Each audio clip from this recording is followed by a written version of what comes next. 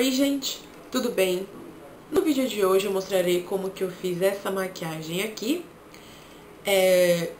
Faz tempo que eu não faço uma maquiagem com o olho bem carregado assim pra vocês, né?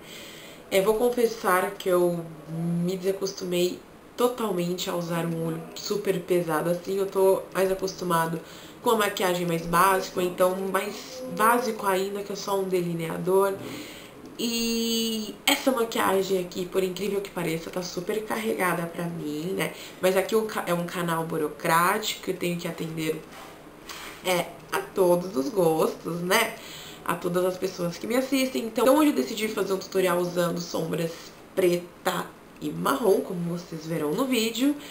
O estilo da maquiagem, eu fiz uma maquiagem ó, com a sombra um pouquinho mais puxada, como dá pra vocês perceberem aqui, né? E perceberão também durante o vídeo tutorial.